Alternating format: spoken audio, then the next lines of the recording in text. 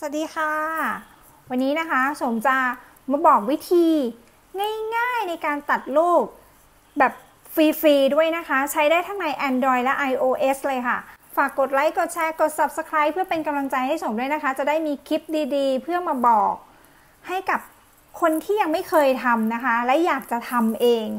แบบง่ายๆ ผ่านมือถือที่คุณใช้ทุกวันนะคะโดยที่ไม่ต้องไปจ้างให้ใครมาแต่งรูปให้คุณหรือทำคลิปวิดีโอให้คุณนะคะ แล้วไปดูกันค่ะว่าสมใช้โปรแกรมอะไรนะคะ ไปดูวิธีการดาวน์โหลดเลยค่ะ เข้าไปที่ App Store ได้เลยค่ะ ค่ะ ตอนนี้เข้ามาที่หน้า App Store นะคะ ก็พิมพ์เลยค่ะ e r a s e r สแกนก็จะขึ้นมาให้เห็นแบบนี้นะคะ มีให้เลือกเยอะแยะมากมายเลย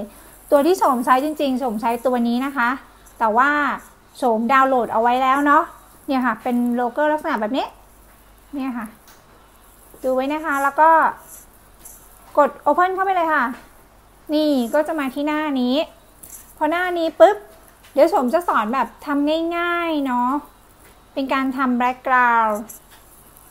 ตัวนี้นะคะ เราก็หาเลือกรูปภาพเตรียมรูปภาพที่จะทำไว้ก่อนเลยนะคะ ก็นี่ค่ะดอกไม้ดีกว่ามันจะได้มันจะได้ง่ายเสร็จเร็วเนาะเอารูปนี้ดีกว่าอ่าสมเลือกรูปนี้นะคะ ส่วนตัวนี้นะคะจะเป็นแบบฟรีนะคะ ก็จะเป็น1คูณ1ขนาดของภาพนะคะ ตรงนี้จะเป็น2คูณ3 3คูณ2เห็นไหมคะ ก็จะเปลี่ยนไป เราต้องการรูปภาพแบบไหนขนาดเท่าไหร่ก็ตรงนี้จะมีตัวเลือกให้เรานะคะ นี่ แต่สมก็เอาแบบฟรีๆเนี่ยค่ะ แบบนี้แหละ พื้นๆเลย พอหลังจากนั้นก็กด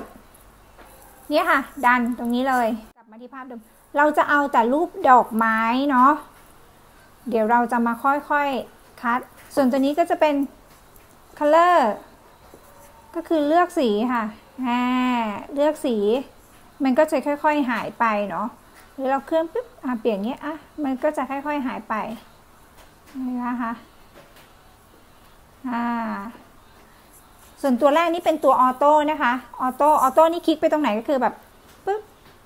นี่คะรูปก็จะค่อยๆง่ายๆ ส่วนตัวนี้ก็จะเป็นตัวที่แบบว่าค่อย ๆ ตัดนะคะ เลื่อนไปตรงไหนมันก็จะตัดไปหมดเลยนี่เห็นไหมคะในรัศมีของเขานะคะ เห็นไหมคะค่อยๆดูนะคะเนี่ยสมเลื่อนแบบช้าๆให้ดูเลยคือตัวนี้จะเป็นตัวเลื่อนให้ใหญ่ นี่เลื่อนให้สุดเนี่ยขยายค่ะ ตัวนี้จะเป็นตัวขยายเห็นไหมคะตัวเป็นตัวขยาย เราสามารถปรับเล็กใหญ่ได้ตามชอบเลยนะคะวึบ อ่า เห็นไหมคะ ค่อยๆ ค่อยๆ ค่อยๆ นี่เห็นไหมสมค่อยๆทำให้ดูนะคะ มันจะค่อยๆ ตัดตัวนี้เป็นตัวรีแพร์เลื่อนไปปุ๊บนี่กลับคืนมาหมดเลยค่ะ เห็นไหมรีแพร์เป็นการคืนรูปภาพนะคะ กลับคืนมาหมดเลย ตัวนี้จะเป็นซูม ซูมเข้าซูมออกค่ะ เห็นไหมขยาย ปรับ ขยายจริง ๆ การขยายเป็นเนี้ยดีนะคะทำให้เราทำงานง่ายขึ้นอะสมจะมาเมนูแล้วกันเมื่อกี้สมขยายละอะนะพอเวลาเราจะเปลี่ยนเราก็ซูมกลับมาไล่รูปภาพ คือการซูมเนี่ยคือการคลิกที่ซูมตัวนี้คือเราจะเลื่อนซ้ายเลื่อนขวาได้เลยนะคะเห็นไหมคะแต่ถ้าเกิดว่าเราอยู่เมนูอันปุ๊บเราจะเลื่อนไม่ได้นะคะ เลื่อนไปมันก็ก็ตัดของเราไปหมดเลยอ่า เวลาจะไปซูมอีกเราก็กลับมาเห็นะคะขยาย หรือแบบว่าอะจะเมนูนปุ๊บเราก็เล่นอย่างนี้เลยค่ะป๊าเล่นเก็บขอบไปก่อนเลยค่ะ แล้วเดี๋ยวค่อยเก็บมาเก็บรายละเอียดทีหลัง เก็บให้หมดไปอย่างนี้เลยค่ะเห็นไหมคะ ก็จะค่อย ๆ หมดไป นี่เอาแบบง่าย ๆ เลยนะสมสอนแบบง่าย ๆ เลย เอารูปดอกไม้ สมจะใช้รูปดอกไม้พวกนี้ไปทำ layer วิดีโอ ไปแต่งรูปภาพ Photoshop อะไรอย่างเงี้ยค่ะ เราก็ตัดเองได้ง่ายๆเลยผ่านมือถือเนี่ยแหละค่ะ บางทีใช้คอมแล้วมันยุ่งยากปวดหัวปวดลูกตานะคะ เราก็ใช้ตัวนี้เลยเห็นไหมคะ ค่อย ๆ เลื่อนไปเห็นปะอันนี้สมกดปุ่มที่เมนูนะคะ หรือว่าถ้าเราอยากจะ repair อยากจะกลับได้มันกลับคืนมาเนี้ยคือเราก็เลื่อนปุ๊บเห็นปะมันก็จะกลับ หรือแบบจะ repair นะคะเราเอากลับคืนมาให้หมดเลยก็กลับเป็นภาพเดิมเห็นไหมคะ กลับมาเป็นภาพเดิมแล้ว ทีนี้เรารู้หมดแล้วว่าตัวไหนใช้งานยังไง อันนี้ auto อันนี้ color จิ้มไปที่สีไหนตัวนั้นสีนั้นก็จะหายไป อันนี้ก็ค่อยๆไล่ไปเรื่อยๆอันนี้เมนูนะคะรีเพร์ซูมมเริ่มจากเก็บขอบเลยค่ะ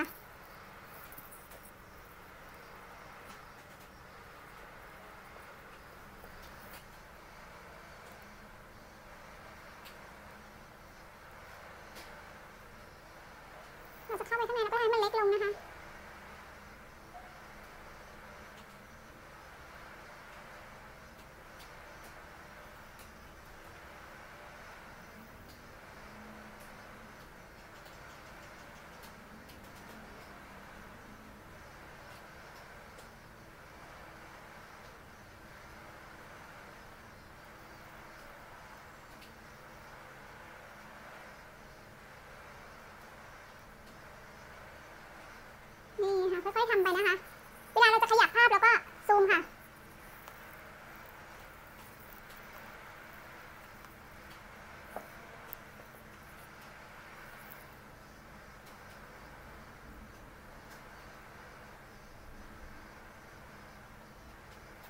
อืมชมจะทำไปให้เร็วเลยนะคะ เดี๋ยวมาดูกันอีกทีนะเดี๋ยวชมจะไล่ทำให้เสร็จนะคะ แล้วเดี๋ยวเรามาดูกัน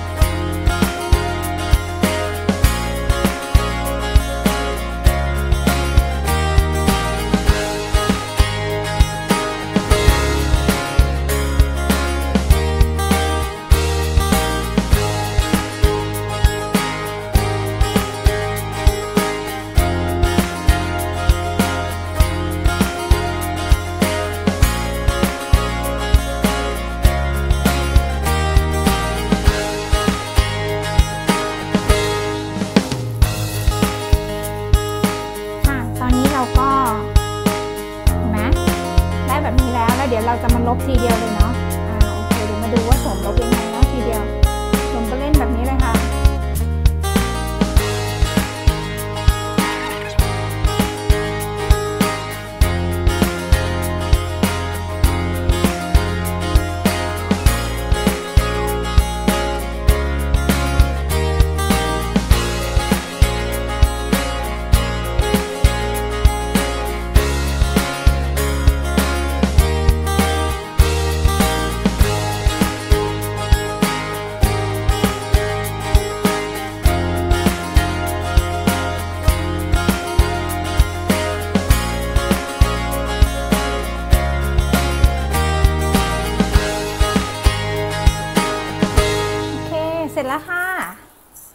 คะ ภาพ layer ของโฉม